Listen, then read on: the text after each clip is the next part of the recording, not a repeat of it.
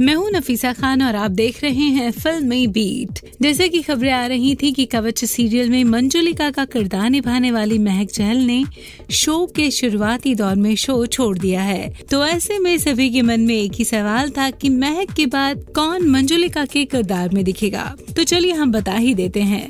मंजुलिका के किरदार में इस बार आपको दिखेंगी सारा खान। जी हाँ।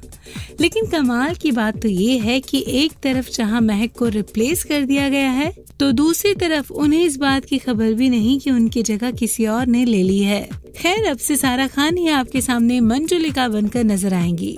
आपको बता दें कि यू तो टेलीविज़न पर डेब्यू करने के लिए महक चहल काफ़ी ज़्यादा एक्साइटेड थी, लेकिन शो के शुरुआती दौर में ही पाँव पर चोट लगने की वजह से वो शूटिंग नहीं कर सकती। इस वजह से उन्हें इस शो से अलविदा कहना पड़ा। खबरों की माने तो चोट लगने के बावजूद भी महक ने शूटिंग करने की पूरी कोशिश की, लेकिन वो शूटिंग नहीं कर पा रही थी। इसी वजह से बालाजी टेलीफिल्म्स ने महक को रिप्लेस कर सारा को मंजुलिका के रोल में कास्ट कर लिया।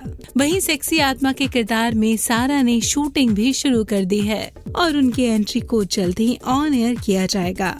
आपको बता दें कि सीरियल में मोना सिंह और विवेक दहिया लीड रोल में हैं। गौरतलब है कि सारा खान इससे पहले सपना बाबुल का विदाई सीरियल में साधना का किरदार निभाते देखी गई थी।